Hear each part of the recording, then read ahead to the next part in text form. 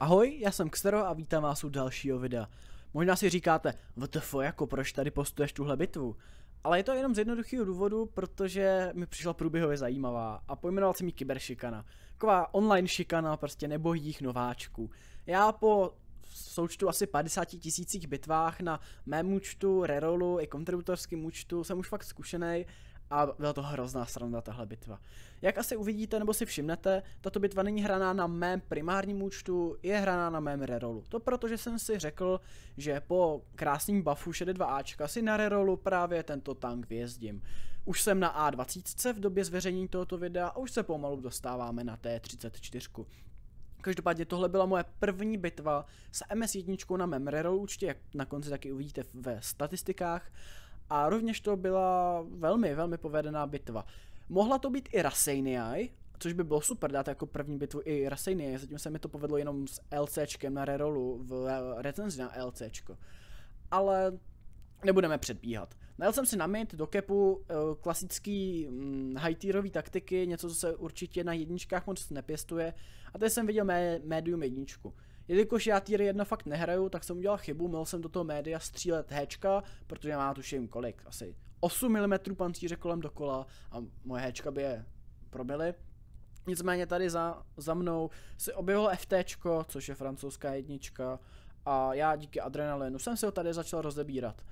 Ještě jsem mu zničil motor a klučina, asi to byla jeho první, druhá bitva, vůbec nevěděl. Koukal tady na mě, točil věžičkou, mířil na mě, ale ještě za pomoci tady té, té jednič, eh, toho našeho FT, která mi jsem přijela na pomoc. V úzovkách na pomoc. Eh, vůbec by se nic nestalo, kdyby jsem nepřijel, akorát mi vyžral 34 damage, tak jsem ho zabil. Ale jak vidíte, náš tým už umírá, nyní to je 6v3. A ještě tady je docela dost, dost damage, který si můžu nafarmit. Zkoušel jsem tady ránu na T1 Cunningham, bohužel ta rána mu sletěla na bok a proto se mi nepodařilo ho penetrovat, stejně jako tahle rána. Uh, myslím si, že tahle bitva Ono, v dnešní době vám už Wargaming při koupení týru 1 vám dá 100% posádku. Ale protože to je tier 1, tak to samozřejmě o to nemůžeme čekat nějaký úžasný dělo. Každopádně tam ten snapshot na T1 Cunninghama uh, byl velmi zajímavý. Tady další T1 Cunningham mm, jede přímo kolmo proti mě a i přes strašnou nepřesnost tohoto děla pro mě není problém ho střílet. Ještě tady dostal nastřeleno, nyní to je teda 6v2, už jsme pouze dva, uh, nepřátelů je ještě 6. A ta jedna Cunningham tady má ten zásobníček. Jelikož opravdu tihle hráči ještě neví co a jak, tak mě ani neprobil, probil mě v podstatě jenom za ty HPčka, který nemám. Uh, teďka mě probil za 19 a uh, já jsem si teda ukradl svůj druhý kill a tady FTčko zabilo Life Traktora. Tohle to je škoda, kdyby to FTčko toho Life Traktora nezabilo, tak by to byla Raseiniai. Tímto se můžu docela nepříjemně spojilnout, co se bude v této bitvě dít a doufám, že, že mi to odpustíte. Renault Otsu najel tady na mě, zkoušel mě střílet, ovšem eh, já jsem mu střílel do věžičky, měl jsem tady down, eh, nevím jestli je úplně užitečný používat down na týru 1, ale jo, užitečný to je, minimálně jsem od něj nedostal žádné rány. Teďka ovšem mi teda trefil mou věžičku, ale já jsem ho trefoval do té jeho věže a kopulky a nyní to je 1 v4. Zabijím Renaulta otcu a ještě tamhle máme mediumko na ránu, skoro plnou té jedničku. A další, skoro plnou té jedničku. Mm, Kepují bázi a já se teďka snažím tu bázi obět. Oni předpokládám nebudou čekat, že je objíždím. Nicméně tahle ta jednička mě tady objela, já jsem bohužel selhal v této ráně, ale on je stokovej. Stokovej, můžeme to vidět podle děla, že tam má ten, rych, že tam má ten rychlozásobník. Tady jsem chtěl zabít to mediumko, protože se potřebuji zbavit uh, děla ve hře. Nemá tam ten zásobník, myslím si, že tam má dokonce tu jednoranku, to úplně nejstokovější dělíčko, který na tomhle stroji jde. Eh, teďka mi tady synká, já do něj dám několik málo ran a tady napravo nade mnou je ta jedna která už uh, je v topu, má toho, má tu 20 mm, ten protiletadlový kanón. Tady, tady bohužel mě začalo trolit dělo. Tuhle ránu jsem netrefil, on mě probil, nyní jsem na ránu. Já mířím, snažím se do něj střelit, bohužel, tím, že ten granát proletěl skrz tu krabici, ztratil penetraci a dal jsem pouze pás.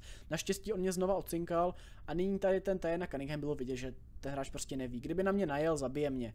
Ale já jsem se ho tady pokusil treknout, on se polekal, chtěl ujet, Uh, pak si to zase asi rozmyslel, já jsem mu dal tady mezi tím dvě, tři rány, dvě, tři rány.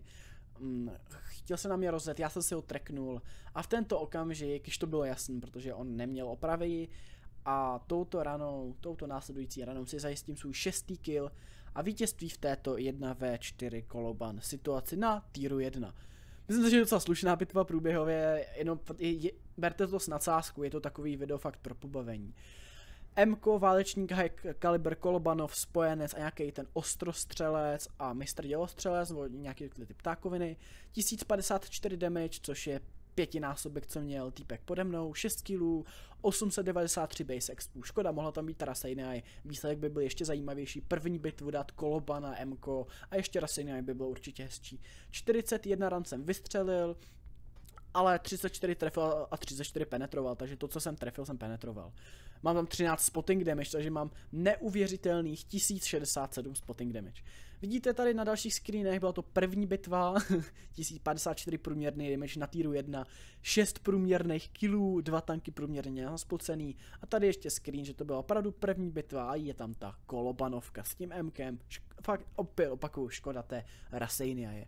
Takže toto bylo takovej takový videjko jenom tak pro odlehčení, prostě jsem vám chtěl jenom ukázat, co dokáže zkušený hráč na týru 1. Neberte to video nějak vážně, nemusíte nějak hejtit, ale prostě ten tank se musel na tom rerollu nějak přeexpit.